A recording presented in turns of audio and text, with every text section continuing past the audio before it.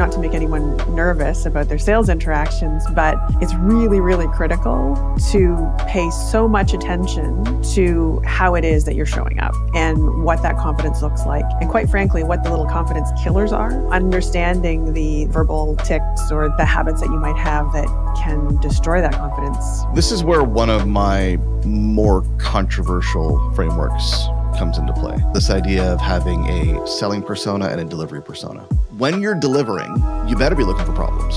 When you're selling, you're not in the business of engaging risks as a seller or what the consequences might be. Because what you do is you end up scaring away the prospect. But if you engage the risk too much and you problem solve too much in the sales conversation, you could problem solve your way out of a deal.